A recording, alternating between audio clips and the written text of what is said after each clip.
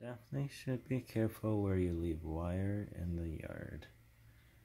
As you can see, I was trimming and forgot that there was wire in the grass and the trimmer just wound it up into itself. So what I'm trying to do is take out the screws and hopefully that will give me access to where the motor connects to this uh, this thing here.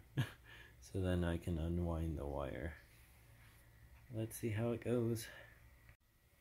So I needed a T15 star key uh, to remove the screws four screws here. And then I was looking to see how to get off this um, the shield and I found four. I had to clean all the grass stuck down here but I found things that look like this this bump. And after just poking at it I saw it was a plus head screwdriver. Was needed to remove it so I've already removed two of them. Um, so I'm gonna be working on two more and so this should come off and then I can finally open the uh, casing on the trimmer. So uh, that's what's next. Move the uh, two other screws and now this uh, shield is falling off. Um, I can't fully take it off because it, the wire is stuck out here and tangles. So now I'm going to be able to, I should be able to open the casing since I've already removed the first. Oh whoops I counted wrong. There's a there's six screws. So I removed the six screws already. Uh, hopefully I didn't miss one. Oh maybe I did miss one. Okay so it looks like I need to uh, work on one more right here. Uh, oh actually it feels like it's loose so I've already unwound it. It's just not allowing the case to open. Alright so I'm gonna need two hands so I'm gonna have to stop the video. So I gotta open this far now. It's just this tip part that looks like it's held together by some plastic uh, I don't know nubs and so I'm using this uh, screwdriver in my hand to uh, just slowly um, help it open or come apart. Don't want to force it because I'm afraid I might crack something. So I'm just going like this slowly and hoping it's just, it looks like it's slowly widening. So, so once it's open, I can have access to the uh, part of the motor that connects to this, and I can see how the wire is is wound in there. Then I can disconnect it or unwind it. Oh, there we go. It just came apart. So Let's see how this has wound itself in here. I'm not sure if you can see it, but it is quite wound up. Oh, wow, it looks like I was pretty close when I was trying to unwind it. Um, without seeing anything. oh, looks like I just had to do that. Maybe. Uh, let's see if that unwinds it.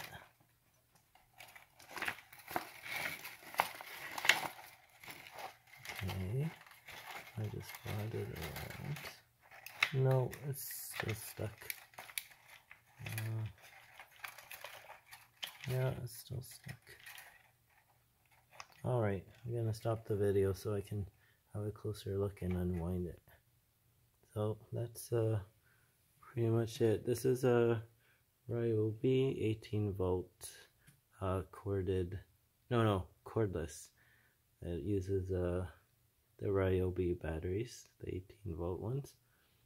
And yeah, it's been working out great for me until I made it eat up this uh, wire. So this is my first problem, but it's not a problem with the trimmer. The trimmer is actually very strong um, compared to the hybrid one I used to have.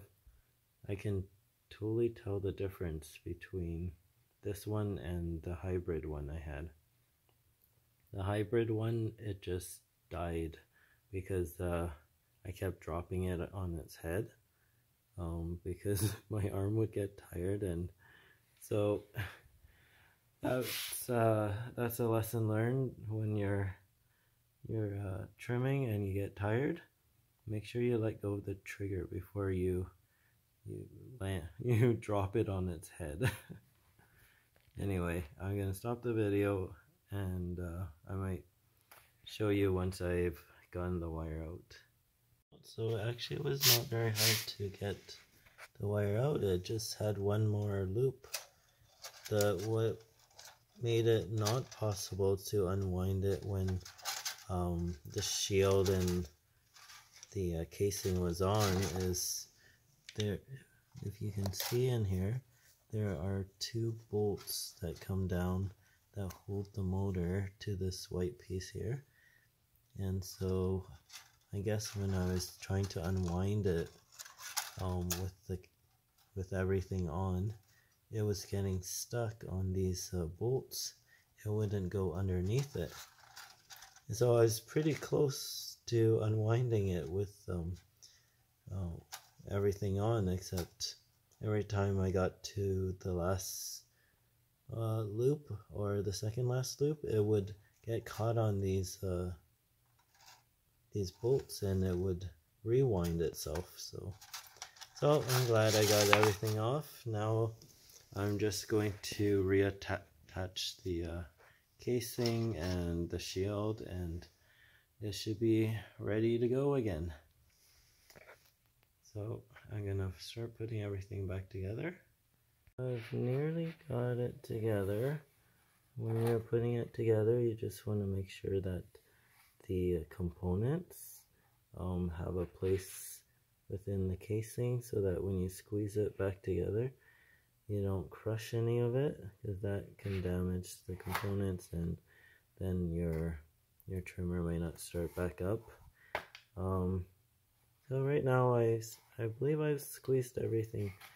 I've squeezed the case on properly except that unexpectedly this part that fits into the handle is not closing. So I'm trying to figure out what the problem is right now. Here you can see the uh, the wire is not in there anymore and I've squeezed together the bottom part went together a lot better and faster than I thought. But this top part I'm not sure what's in there but it's not allowing the case to close. So I'm gonna just poke around some more. So I found out the issue.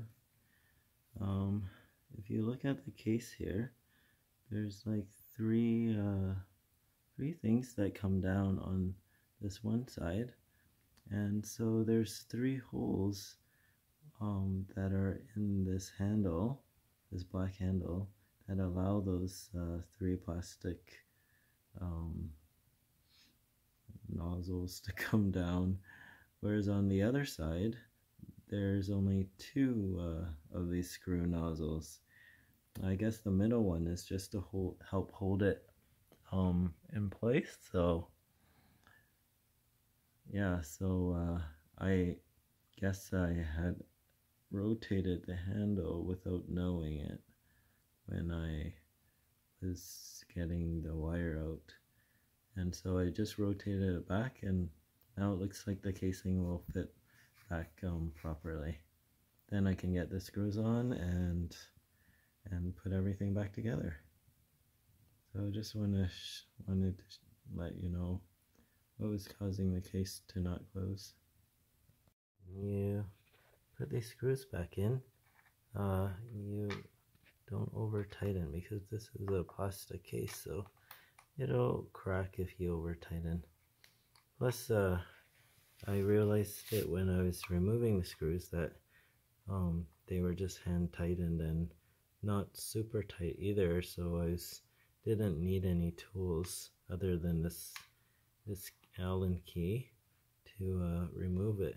And I didn't have to try very hard to get the screws out so yeah just don't over tighten otherwise. You might crack the case and that might affect uh, how uh, your trimmer works. Yeah I just reached the tightness and I just stopped. So just getting the screws back in here.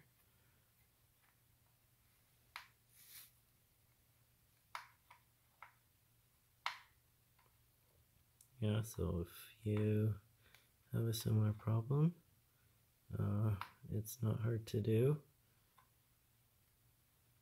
Probably the most challenging part is uh, removing the case and making sure you don't crack it when you removed it when you remove it because uh, it's plastic so it's easy to crack if you force it open.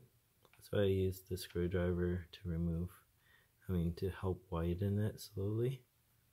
And the other challenging part is um, putting the case back together to make sure you don't crush any of the components that are in them there. So yeah I think those two are the most challenging putting screws in and tightening them is not is very not challenging it's pretty straightforward yeah so I'm almost done tightening this. I'm just doing hand tight and not too tight. Once it starts getting tight, I just stop. Since uh, that's the way I found the screws. Um, so they must have did that when they were manufacturing the trimmer. So I'm just putting it back to the way it was. There. Now I'm getting the shield out of the mess of wires. I should just pull out. There we go. Now I have this and there's uh, four screws on there. I have put back. Um, yeah, I'm gonna need my other hand, so. I'm gonna stop the video now. Here's a tip if you don't know which way the shield goes on.